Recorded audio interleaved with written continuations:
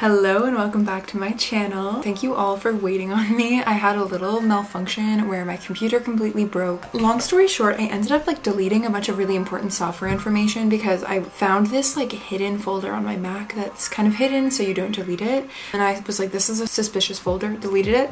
It contained all the software information for my laptop. So that was really fun. I was dealing with that for a little while, but now I'm back. My laptop is working so I can still edit my videos. And also last week I was in Paris. I spent three days in the UK UK around Birmingham where my friend lives and then three days in Paris. It was a press trip with L'Oreal Luxe. I got to go and visit the factories for L'Oreal where they make all their fragrances, learn about the new launches, smell some raw materials. It was a really fun time and really cool, great learning experience. If you want a video on that, I can definitely do so. Today's video, I want to focus on some fragrances that I fell in love with when I was in Paris because there were so many fragrances that I smelled. I think one of the days I had about like five hours in between gigs and my hotel was really close to a ton of perfume shops. So I got to go to a ton of perfume stores and I also bought a few fragrances. So I want to show you what I got and talk about some of the fragrances that I fell in love with in Paris.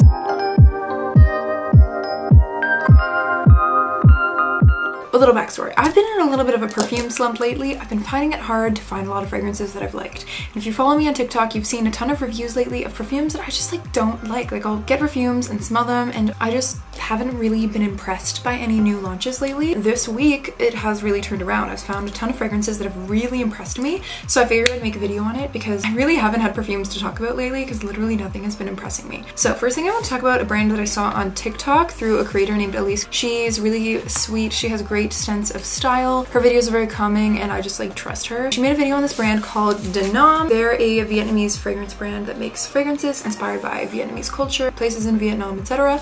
And she was talking about some of their fragrances and I that night went on my computer and went to order them they only shipped to the US. And so I was like really sad. And then I get home and I see that they sent me PR. So the world happens in crazy ways. So I got their sample set and I got their full size of their Vietnamese coffee scent. Look at how pretty this is. First of all, the fragrance Vietnamese coffee. I'm actually wearing it right now. This is a tonka bean chocolate heavy fragrance. This is coffee without being too sour. It smells like, it smells very strongly of coffee, like dark roast cold brew. I smell cold brew.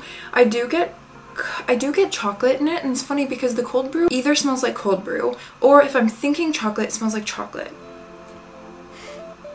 But either way, it's very coffee-like in a way that I haven't really smelled before. I would say overall it's not my favorite because there is kind of like a woodiness that I get from it, but I could see myself liking it over time a little more. I don't dislike it by any means, I just don't think it's something that I'm going to reach for very much, but it was something that really interested me. So this one was very cool. Um, other than that, I would like to show you one fragrance that was by them that I love. There's one fragrance in here that I smelled and fell in love with and it was actually called White Rice. Now I'll just hold this up. I only have the sample. So White Rice is a orris, musk orris and rice scent. I think it's musk orris and rice. It's this really fluffy, almost lactonic milky scent that's ricey and I really like gourmands that are savory. Um, if you like L'Eau de Papier from Diptyque, if you like Another 13, these like fresh skin-like scents, this is so good. It's one of the best ones I've smelled and the rice note adds like a savory quality, which you don't get much. And it's funny because it's gourmand without being sweet. Like it's gourmand like savory. It smells like rice. There's a bit of a starchy, glutinous smell to it that's not too much. Like I know in RL Shashanda Sunday, that's a like a toasted rice. And I find that one very starchy that like when I smell it, it almost catches my throat. Like my throat feels dry smelling it, but this one I don't get that at all. It's just the most beautiful, musky, fluffy rice scent, and I've been wearing it for the past two days straight, and I'm very much enjoying it. I think I might have to upgrade and get a full bottle soon because I just have the sample right now. So first of all, I just wanted to touch on a fragrance real quick that I talked about in one of my YouTube shorts and my TikToks. This is a fragrance that didn't used to be a fragrance. It used to be only a candle, and I have it in candle form, but they finally launched it in fragrance form, and this is the new Carby Musk by Drake. If you know the lore about this, basically Drake has this perfumer named Michael Carby Basically, Michael Carby met Drake. He's a perfumer. He does a lot of the Bath & Body Works candle. He's a phenomenal perfumer and he made Drake a signature scent and it was Carby Musk, named after Michael Carby, and it was a musk scent. Drake used to wear this all the time. It was his signature scent, and he wouldn't release it to the masses because it was only made just for him from Michael Carby. Drake, when he made Better World Fragrance House, released the fragrance as a candle. So you can burn the candle and it'll smell like Drake is in the room with you. But you couldn't actually buy the perfume yourself. The candle is really nice. I bought it myself, and so they launched it finally in a perfume oil. So this is Drake's signature scent. This is what Drake smells like. And I've smelled it before because I have the candle. This is like a laundry musk scent. It's kind of similar to 1111. It's really potent and very powerful. I know people were saying like it's kind of expensive for 10 milliliters of perfume oil, but honestly, this is a really long lasting it actually projects super well. It's very clean smelling, gender neutral. Like this smells like laundry and fresh air. This is not what I'd expect him to smell like, but basically, yeah, he launched it as his perfume and they sent it to me, which was really cool. And I'm actually really happy about it because I was wanting this as a perfume. These ones are also super, super new to my collection. This is from a brand called LOE or Life on Earth. They're a, I think, Korean American, Korean brand. They have Lazy Vanilla, Eau de Toilette, and Peach and Tea. I did get a chance to wear them and skin test them, and I quite liked one of them. This Peach and Tea scent I put it on last night and it is quite good. Peach is really hard to do and this is like, like opening up a peach on a spring day. It smells more like a nectarine than a peach. It's juicy, like I can smell, I'm salivating. I'm literally salivating. This makes me crave a peach. It's so juicy and I love tea because tea is so calming and fresh and, and this, it smells so good. It's it smells soapy, like something I would like I'm sudsing up a soap and it's bubbling, you know? Yeah, and there's like a little bit of a greenness to it that I'm liking.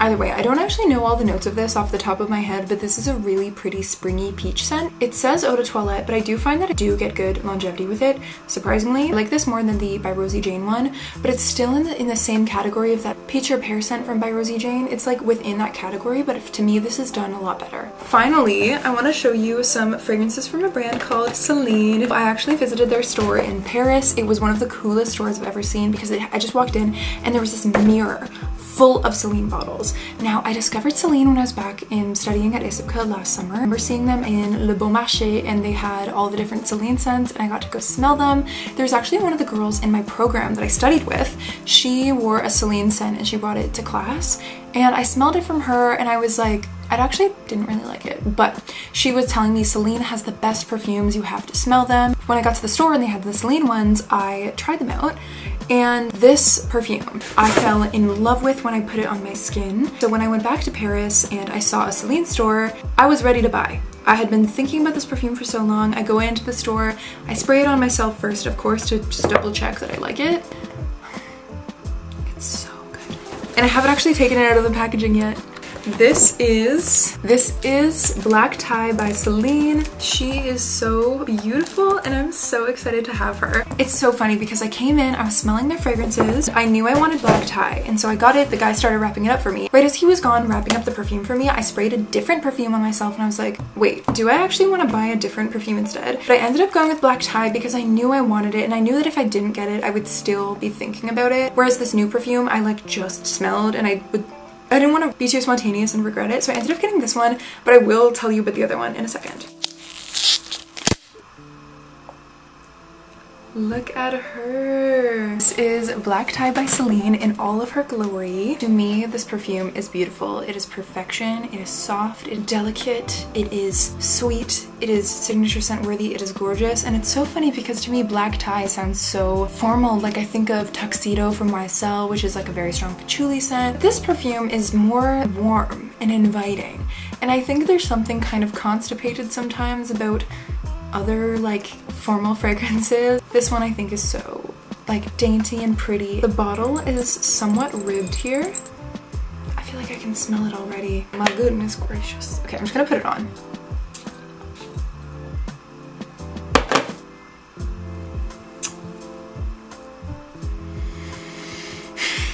This perfume is so pretty. This is a irisy vanilla. It's vanilla, but it's just a hint buttery and powdery. The atomizer is like beautiful. And the glass. The sound, this is a more intimately projecting fragrance. It's not gonna like fill a room and make someone run away from you. It's, it's a lot more like subdued and polite, I'd say. Especially because it does have that orris in here, which is, I'd say just like overall a gentle note. It's a very gentle formula. Originally, I got a lot of the cedar when I sprayed it on myself just now, but it's mostly this warm vanilla orris scent that makes me feel, it's funny, you know how some people say this will smell like my mom or this smells like my grandma and they mean it in a weird way. And this, there's nothing about this that smells old or grandma-y in that general like floral aldehydic, you know, Chanel number no. five scents. But there's something like maternal about this to me. It makes me think of like being held or like being comforted. There's something about this, like especially like when I smelled it over the summer. It's been several months since I've smelled it. But it just smells so homely, you know, home homey, I guess that it just I just felt comfortable whipping my card out of my wallet to spend way too much money on this. But I really like it and I'm glad I love it just as much since I brought it home. Oh, and I can't wait to wait to wear it today. Now, when I was there, there was one other fragrance that I smelled and I fell in love with, and it was called Dans Paris, which is like in Paris. This was a more gourmand scent. I would say it's probably the most gourmand scent that Celine has. I'm just gonna hold this just cause, but Dans Paris is like a, it's a like lemony vanilla scent. There's a note of coriander, which I don't smell, and a note of laurel blossom, which I actually don't really know what that smells like.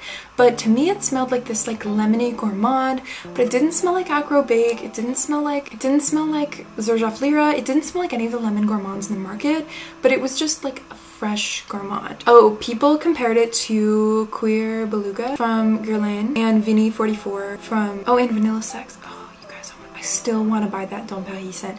And I asked them when I bought this, I was like, can you give me some samples? And he said, yeah. So he gave me some samples, but he didn't give me samples of that perfume. He only gave me samples of the other ones, which was so annoying. So I was like, literally, what do I want you for? This is horrible service. So anyways, all I have is the black tie, which you know what is enough for me. I like this. Another scent that I fell in love with recently before I left to Paris is a friend, a friend, a scent called Happy Dust by Narcotica. I just have this little mini sample that I purchased from Scent Split.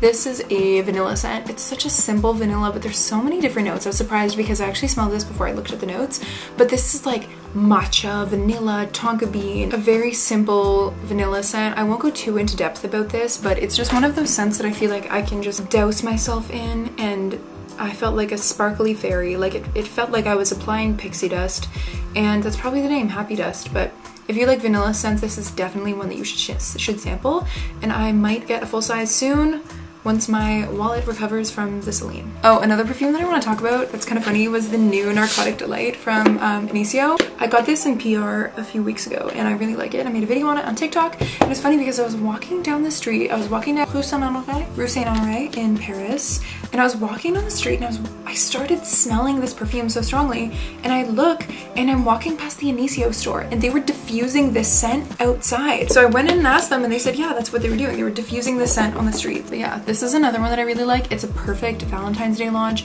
It's this cherry-like, floral, not too heavy, but like addictive scent that you just keep thinking about. There's something kind of resinous about it, like there's myrrh in it, but I don't think there is. And anyways, it's funny because I had only had it for like not that long, maybe a week, and then I smelled it in the streets I knew immediately it was this. So this was another one that I really liked lately. You know, it's not my favorite of all favorites, but it was really good. And then finally, I will end this by telling you about two more fragrances that I actually don't have with me, but they were fragrances that I sampled and I can't stop thinking about because they were so good. Um, the first one was from Diptyque called L'Eau Papier, which is a paper scent, or the paper. It was a like light, fluffy, musky scent that smelled creamy on my skin. It's funny because a lot of the scents don't really work on me. I never really liked Glossier You. I never really liked Another 13, but this perfume I really, really, really like. It's funny because I did a poll on my Instagram asking you guys tons of questions about fragrances. It was like, what's your favorite for every day? What's your most worn perfume? What are your favorite notes? And my question was like, what's your most worn perfume or what's your favorite perfume for every day was L'Eau Papier. So I knew I had to smell it. You guys have been asking me to smell it on all of my videos. Maybe not all my videos, that's probably, but I get asked to smell it a lot. And so I finally was like, you know what, I'll smell it. I go there, I spray it, and it was kind of one of those reactions where I was kind of like, oh mama, like it it was really good. And I look up the notes and it's like just musk, but there's something about it that is so addictive and fresh and clean and like nice that other skin sensitive smell just don't do it like that. They just don't work that way. So this one really worked for me and I loved it. Finally, I will talk about a perfume. This is a perfume called Jeux de Peau from Serge which was a milky wheat scent that's supposed to smell like a Madeleine. Sorry, I like went to Paris for a week and now I'm speaking in a French accent. But it was supposed to smell like a Madeleine, like Madeleine de Proust or something I couldn't really understand. Honestly, I was talking to the guy in French and I can't, I can like speak it sort of, but I can't understand when you speak really fast. So he was telling me the story behind it and I was kind of like, okay. Yeah, this is a woody lactonic scent. The notes are wheat, milk, licorice coconut immortelle this is gourmand paradise. He sprayed it for me because i went in there to smell Dent de Lait, which is a like metally milk scent that I, everyone had been telling me to smell. And i went in there knowing i wouldn't like it and i smelled it and i was kind of like oh.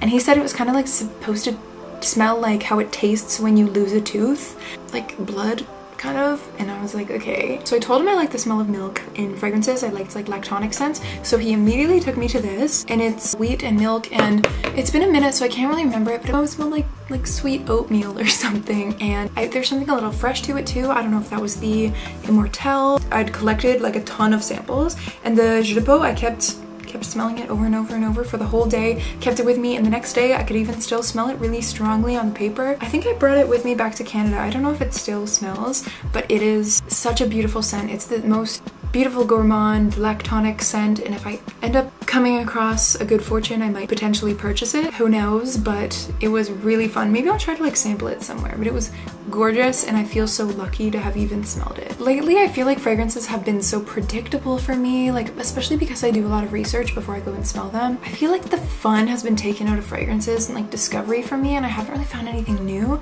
and that Jeux de Peau one really really felt new. There was one other fragrance that I will mention too that felt really new to me um, and like really surprised me in a new way and that was from Diptyque and it actually wasn't a perfume it was the like from the Droguerie which is their um, detergent line. I used the Droguerie house cleaning spray which is the fig smell so I was telling her about how I used that and she was like oh let me show you something else and it was the La it was like a spray on perfume vinegar thing. It's like a little wash thing. So you can like spray it on, if your room smells, you can spray it on your sheets. She said if you have like a little like spill something on your coat, you can like spray this on to like clean it off and it'll like remove any smell. So it's like a de-stinking spray. I don't know. But anyways, she sprayed it on a card for me to smell.